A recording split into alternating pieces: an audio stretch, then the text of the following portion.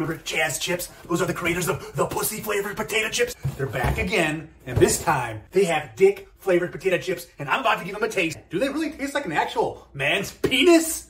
Open the box. No, no, no, no, no, no. Nice, pretty green tissue paper in the box. Chazz dick flavored chips. Crack it open. These look like they might be like barbecue-ish. Give a whiff. Smells kind of basic, kind of plain. Getting some barbecue vibes, kind of mesquite What does a dick flavored potato chip taste like? Not right now. What's it taste like? Very, very salty. I feel like it's definitely like a barbecue. But there's another flavor that I can't really put my tongue on. I almost feel like I'm eating like a hot dog. It kind of tastes like ketchup and barbecue. But very, very, very salty though. It's intensely salty. Almost overly salty. Like this must be a real sweaty wiener, man. This must be the sweatiest dick they've ever encountered. But I mean, they're good.